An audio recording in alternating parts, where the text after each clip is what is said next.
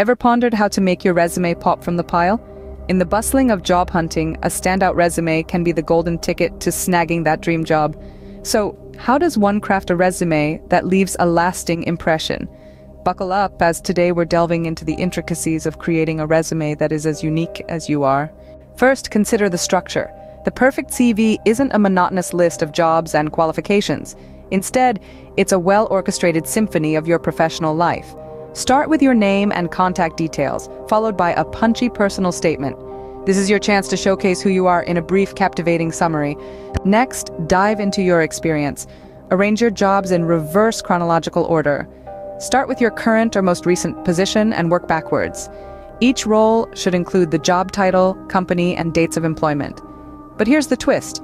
Instead of listing your duties, focus on your achievements. Paint a picture of how you've made a difference. Then it's time to spotlight your skills.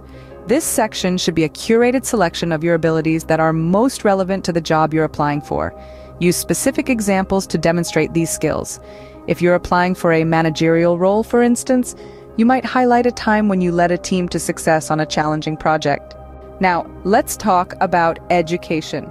Again, this should be in reverse chronological order with your highest level of education first. Include the name of the institutions, the dates you attended, and the qualifications you gained. If you're fresh out of school or university, this section can be a bit more prominent. If you've been in the workforce for a while, keep it brief. Finally, add a personal touch. Hobbies and interests may seem trivial, but they can provide a glimpse into who you are beyond your professional persona.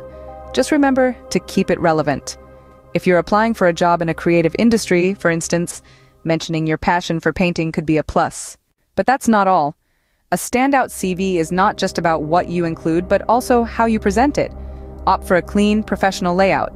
Use bullet points for easy reading, and keep the length to a maximum of two pages. And don't forget to proofread. A single typo can be a deal breaker.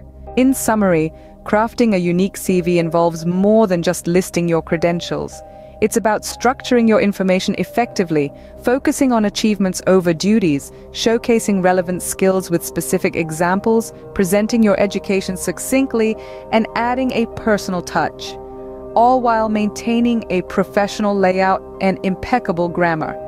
It's a tall order, but with a bit of effort, your CV can become a true reflection of your unique professional journey. Remember, your CV is more than a document, it's the story of your professional life, so make it count.